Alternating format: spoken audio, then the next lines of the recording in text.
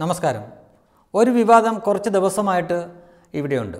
ദേശീയ മാധ്യമങ്ങൾ അതൊക്കെ വിട്ട് മറ്റു വിഷയങ്ങളുടെ പുറകെ പോയി എങ്കിലും നമ്മുടെ മലയാള മാധ്യമങ്ങളിൽ ഓരോ പതിനഞ്ച് മിനിറ്റ് ഇടപെട്ടും പ്രവാചക നിന്ദ അല്ലെങ്കിൽ നബിനിന്ദ എന്ന തരത്തിൽ മാറിയും മറിച്ചുമൊക്കെ ഈ വാക്കുകൾ ഇട്ട് അമ്മാനമാടി ആ വിവാദം ഇങ്ങനെ കെട്ടുപോവാതെ കത്തിച്ചുകൊണ്ട് നിൽക്കുകയാണ്. പക്ഷേ ഒരു ചാനലുകളും എന്താണ് പറഞ്ഞതെന്ന് അതായത് നുബുർ ശർമ്മ എന്ന ബി വക്താവ് എന്താണ് പറഞ്ഞതെന്ന് അവർ പറയുന്നില്ല.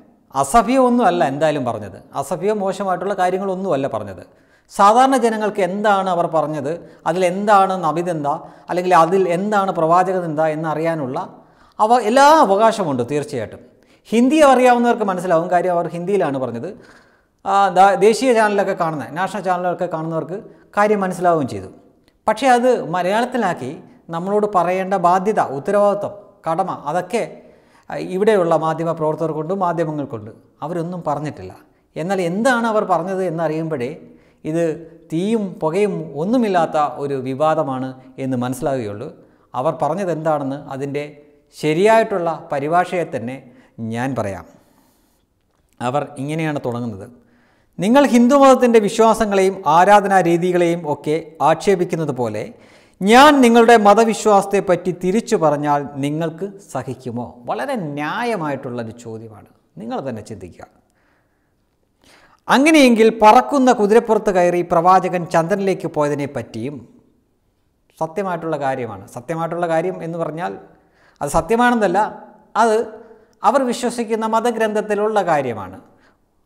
പറക്കുന്ന കുതിരപ്പുറത്ത് കയറി പ്രവാചകൻ ചന്ദ്രനിലേക്ക് പോയതിനെ പറ്റിയും പിന്നീട് അദ്ദേഹത്തിന്റെ വയസ്സിനെ പറ്റിയും അതായത് അദ്ദേഹം ഐഷ എന്ന അദ്ദേഹത്തിന്റെ ഒരു ബീവിയെ വിവാഹം കഴിക്കുന്ന വയസ്സിനെ പറ്റിയും ഒമ്പത് വയസ്സിൽ ശാരീരിക ബന്ധത്തിൽ ഏർപ്പെട്ടതിനെ പറ്റിയും പിന്നീട് എൺപത്തെട്ട് ആ, ഇരുപത് വാക്യത്തിൽ ഭൂമി പരന്നതാണെന്ന് പറഞ്ഞതിനെ പറ്റിയും ഭൂമി പരന്നതാണെന്ന് തന്നെയാണ് ഖുറാനിൽ കിടക്കുന്നത്. പറ്റിയും ഒക്കെ ഞാനും പറയട്ടെ. ഒക്കെ ഞാനും പറയട്ടെ. നിങ്ങൾ കേട്ടിരിക്കുമോ? ഇതാണ് ബി ജെ പിയുടെ വക്താവ് നുബുർ ശർമ്മ ചോദിച്ചത്. നിങ്ങൾ ആത്മാർത്ഥമായിട്ട് സത്യസന്ധമായിട്ട് പറയുക ഇതിലെവിടെയാണ് നബിദിന്ത ഇതാണ് നമ്മുടെ മാധ്യമങ്ങൾ എത്രയോ ദിവസങ്ങളായിട്ട് നമ്മുടെ മേൽ ഛർദ്ദിച്ചു വെച്ചുകൊണ്ടിരിക്കുന്നത്.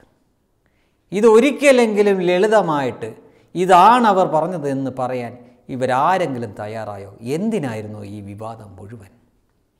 ഇത് അതിലില്ലാത്തതാണെങ്കിൽ ഖുറാനിലും ഹദീസിലും ഇല്ലാത്ത കാര്യമാണ് എങ്കിൽ അത് ഇല്ലാത്തത് പറഞ്ഞു എന്ന് പറഞ്ഞ് ന്യായമായും അവർക്കെതിരെ പ്രതിഷേധിക്കാം. ഞങ്ങളും കൂടാം.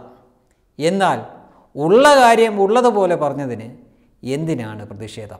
ഇതിൽ എവിടെയാണ് നബിദിന്ത ഇനിയെങ്കിലും അനാവശ്യമായിട്ടുള്ള സ്വന്തം മാതൃരാജ്യത്തെ ഇകഴ്ത്താൻ മാത്രം ഉതകുന്ന ഇതേപോലുള്ള വൃത്തികെട്ട വിവാദങ്ങൾ മലയാള മാധ്യമങ്ങളെങ്കിലും അവസാനിപ്പിക്കണമെന്നേ പറയുന്നുള്ളൂ. വെബ് ഡെസ്ക് തത്വമൈ ന്യൂസ്